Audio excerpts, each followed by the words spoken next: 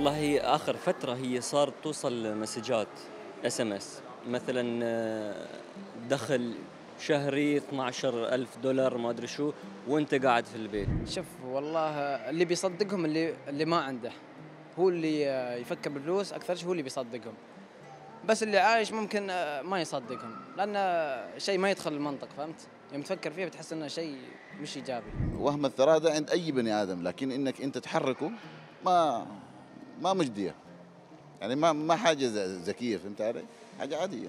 لا لا هذا السوالف أنا جيني رسائل منها ولا أعطيها سالفة. وجاتني رسائل امسحها ولا تدخل في بالي ابدا. لا هذا غلط أنا يجيني تليفون من ما أعرف عنه شيء واعطيه أعطيه فلوس أو أعطيه رقمي أو أعطيها رقم حسابي هذا غلط. يعني شركات تاخذ بتوصل مرة واحدة غني وهالامور ما توصل بهالشيء بالسهولة يعني. حتى لو توصل ملياردير وغني أو تا- رجل اعمال بهالطريقة ما بتوصل تكون بهدفك يعني.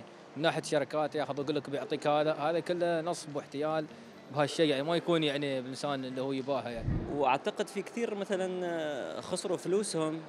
أصلا مو فاهمين ال- الموضوع كله وفي كثير ناس خسروا فلوسهم. وأنا أعرف ناس يعني. لا طبعا مستحيل.